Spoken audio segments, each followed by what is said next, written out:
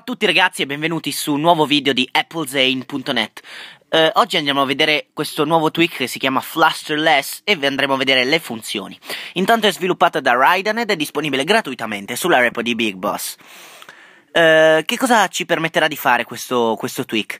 Ci permetterà di mettere un piccolo pulsante sulla lock screen che ci, eh, che ci in automatico abiliterà la funzione non disturbare. Infatti andiamo a vedere l'utilità di questo uh, tweak e come possiamo vedere c'è questa pallina bianca, se noi andiamo a tirarla e uh, verso la destra ci abiliterà la funzione non disturbare, come potete vedere. Andiamo a ritirarla verso la destra, ce la disabilita.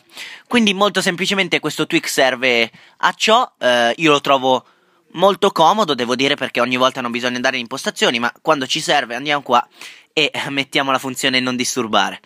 Uh, qui è tutto, ci vediamo al prossimo video solo su applezane.net.